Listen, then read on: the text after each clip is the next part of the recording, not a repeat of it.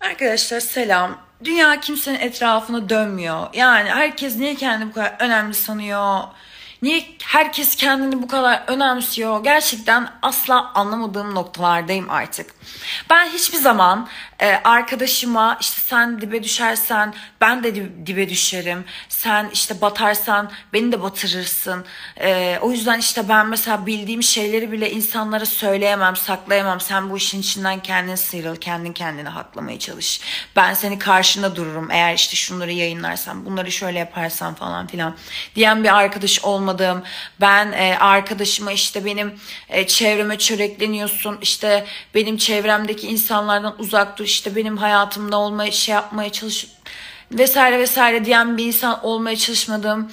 Ee, ben arkadaşlarımı kıskanan, arkadaşlarımı sevdiklerimden kıskanan bir insan olmadım. Çünkü benim arkadaşlarım yeri geldi erkek arkadaşımla sabaha kadar 101 yani ben e, kimseye sevgilisinin yanında e, bağıran bir insan olmadım.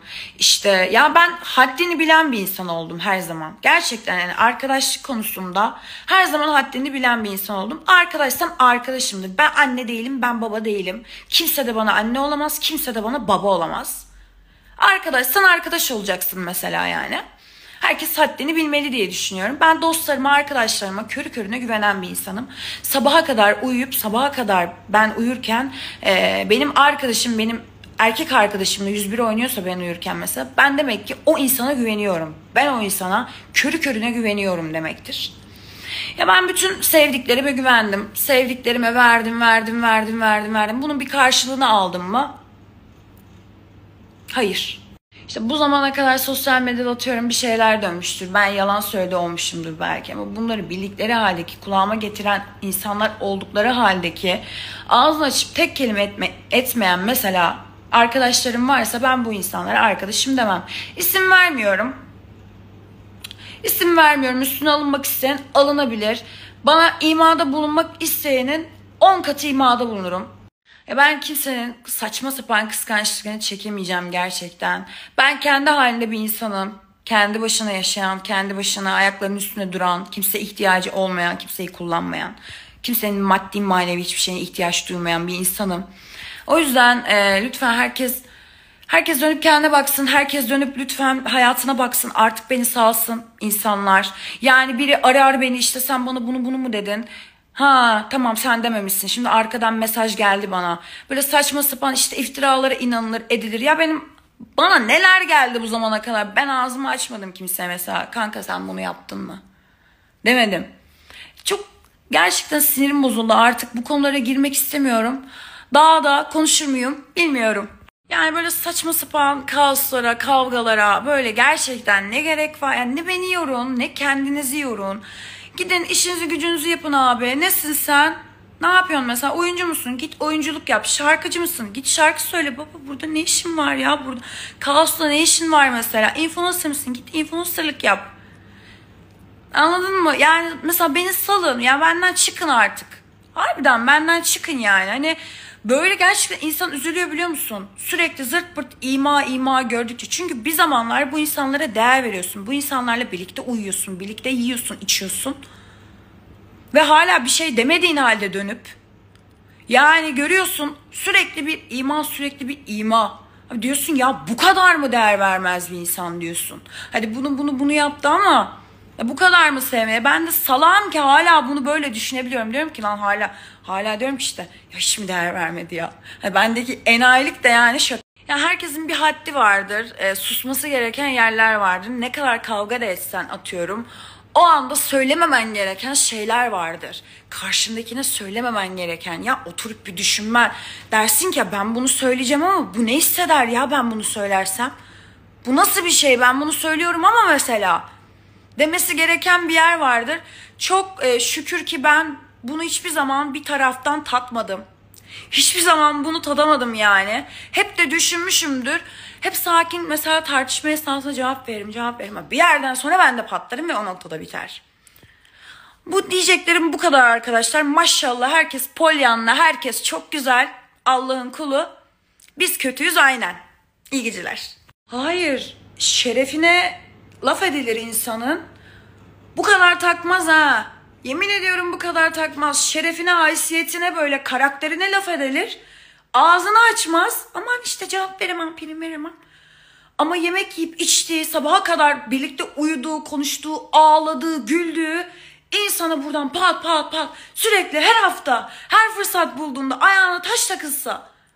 Çok sıkıldım artık. Gerçekten yani birazcık oturmuş karakteriniz varsa gelirsiniz yüzüme konuşursunuz.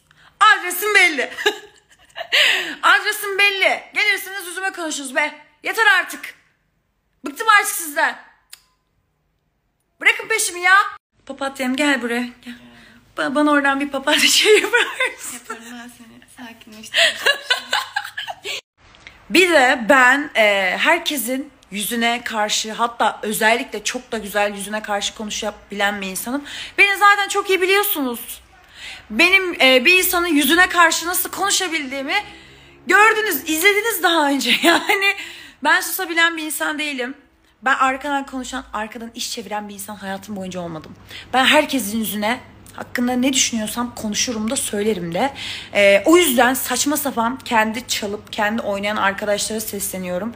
Zorla böyle kendinize bulaştırmaya çalışıyorsunuz galiba. Hani yapmadığım şeyleri yaptı olarak Hani buna da inandırıyor musunuz kendinizi acaba daha da sinir olmak için falan böyle? Zaten arkadaş olan, anladın mı? Dost olan bir insan gelir hesap sorar. "Ha, Sen bunu mu dedin? Sen şunu mu dedin? Gidip işte sosyal medyadan kanala oraya buraya ya işte şunu demiş bunu demiş gel yüzüme söyle gel ara beni. Bak arayan arıyor beni. Arayan arıyor arıyor. Yazıyor ya da niye yayına oraya buraya? Prime mi ihtiyacın var? Var tabii ki var. Nerede primi? Orada sen. Değil mi? Neresi canlıysa oradasın. Çünkü beni illa konuşturacaksınız. Bak harbiden sinirleniyorum illa konuşacağım konuşursam çok kötü olur tamam mı ben öyle arkadan konuşmam ben öyle yüzüne konuşurum insanın ben arkadan konuşan bir insan değilim ben korkak biri değilim beni herkes çok iyi biliyor ben arkadaşlık konusunda baya baya enayi bir insanım. Biriyle çünkü tatile gidiyorum arkadaşımla. Tatilden dönüyorum. Diğer arkadaşımla tartışıyoruz. Onun yanında haksız olduğu durumları söyleyip ara bulma yani bulmaya çalışmak yerine taraf tutuyor. Taraf tutuyor. Sonra bir de diyor ki ya ben taraf tutmadım. Sen benim hakkımda şunu şunu demişsin. Sen şunu şunu yapmışsın. Şöyle e kanıt. Böyle bir şey demedim diyorum. Demedim diyorsan dememişimdir yani. Senin mesela o kadar şeyin gelmiştir bu zamana kadar. Beğenilerin falan bile. Ben susmuşumdur. Bir sürü şeyin gelmiştir. Ben susmuşumdur. Değil mi bazı şeylere? Ama Aybüke şunu dedi tamam ben inanıyorum buna hemen. Kim dedi mesela bunu? O da yok. Öyle havaya civaya atılıyor. Yani kimin ne yapmaya çalıştığını farkındayım. Kimin kimin arası bozulduğu için de bundan zevk aldığının da çok iyi farkındayım. Çünkü gerçekten bak benim benim kaç tane üçlü arkadaşlıklarım oldu ki hala daha var. Birimiz tartışıyor muyuz? Diğer, diğerimiz konuşamıyorum ya sinirden. Diğerimiz ara bulmaya çalışıyor. Ara bulamıyor mu? Haksız olan taraf mı? Haksızsın ya haksızsın. Git özür dile. Git şunu yap. Ne oluyor? Yaparsan bazı şeyleri kaybedersin çünkü değil mi? Bazı deliklere giremezsin. Neyse ya. Birazdan sileceğim zaten.